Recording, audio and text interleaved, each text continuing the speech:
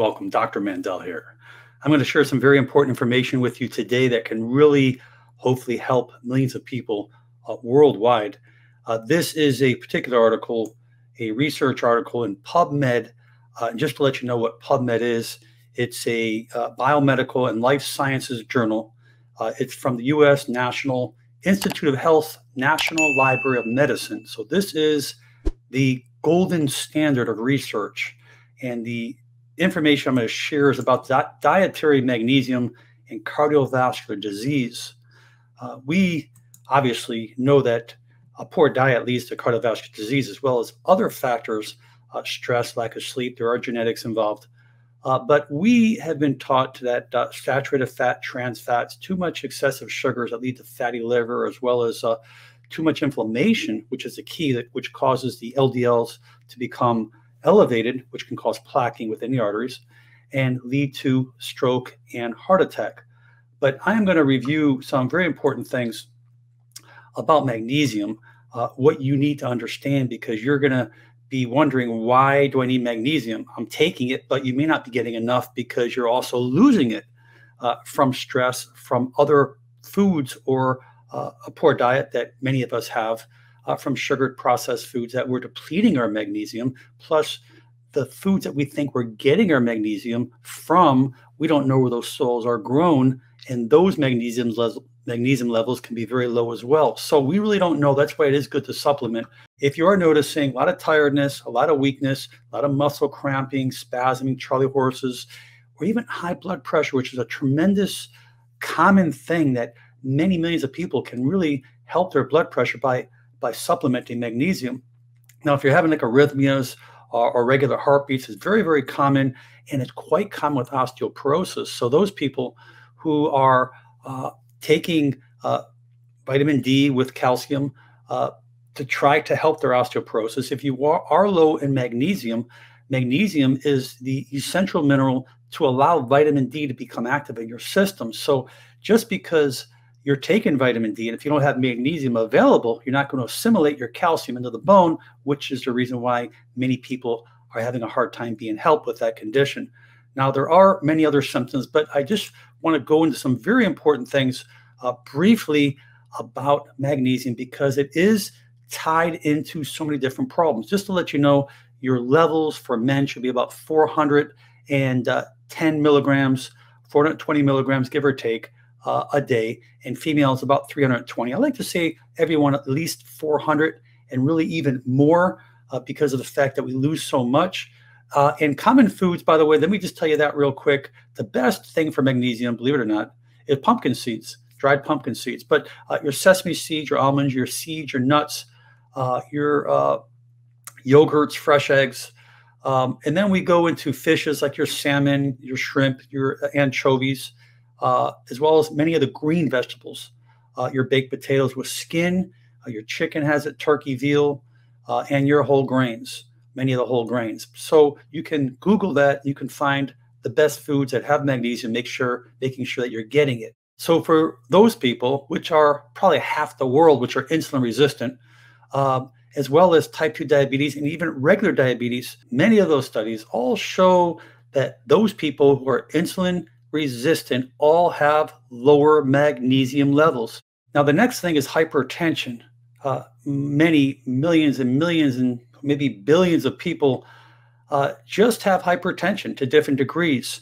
And uh, high blood pressure obviously uh, can affect our, our eyes, our heart, our brain, our kidneys, as well as uh, the inside of the arteries, the endothelial lining, and if we're developing clots in there, or if we have chronic, you know, clotting going on from the inflammation and calcium and uh, the bad cholesterol, this can eventually move. We call this an emboli. And if it gets to the heart before it gets in the uh, to the heart area in the coronary arteries, it causes can cause a heart attack. If it gets to the brain, uh, it can cause a stroke, or the lungs, a pulmonary embolism. So, uh, if you increase magnesium, particularly if you are uh, having high blood pressure, uh, this dramatically may decrease your medicine you're taking or even get you off. Uh, so this is something you just may want to consider and run this by your doctor because of the fact that there are studies that show so many positive, uh, great things uh, for that, as well as, by the way, let me just throw it in. If you're having problems sleeping, I didn't mention that, taking magnesium before you go to bed may uh, just make your whole life better. So hopefully take that for what it's worth. Now, your lipid profile, uh, your dyslipidemia, uh, which is a big problem, the increased fats, the high cholesterol, the high uh, low density lipid protein, as well as triglycerides, all play a tremendous role with clotting uh, and clogging, may I say. So if you're having, you know, high levels of cholesterol, bad cholesterol it is, because cholesterol still is important for the body and brain, but we're saying bad cholesterol, uh, increasing magnesium can do wonders for you because we're talking about preventing stroke, and stroke is uh, all directly related to these poor levels, these high inflammatory markers that's going on within your body. So let's take a quick look at this picture. This is impaired low levels of magnesium, inadequate levels.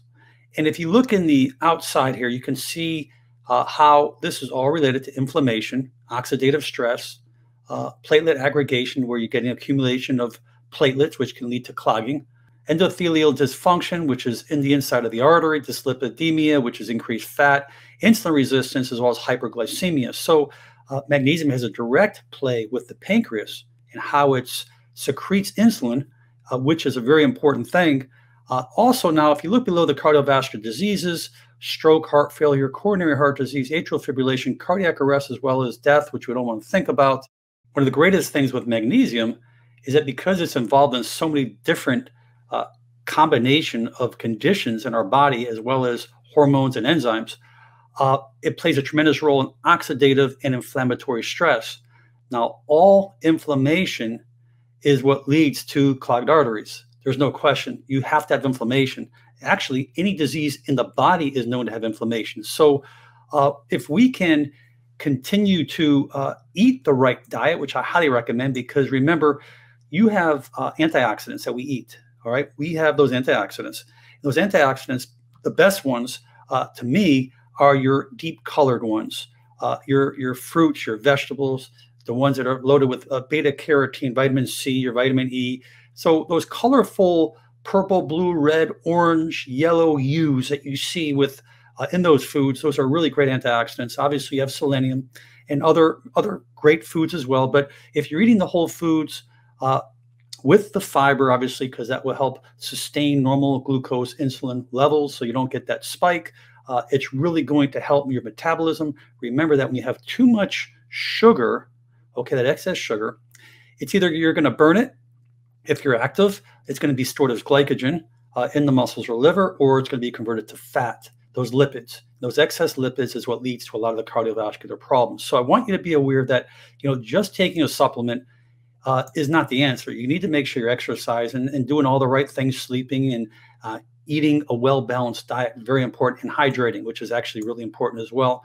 So, uh, just I, I, hope that this will really help you uh, to give you an understanding the, the, the the importance of magnesium because there are millions and millions of people out there worldwide who have so many different problems that's lacking magnesium. It's really really common. So just look into it. I really hope will help you, your family, your loved ones. I will post uh, this research article from PubMed in the description below if you'd like to look through it. And uh, these are the facts, and this is the way it is, and I wanted to share with you. So uh, I want to wish you and your family many blessings. Uh, please share this with your friends and family. Leave your comments below because there will be many, I'm sure. And most important, make it a great day.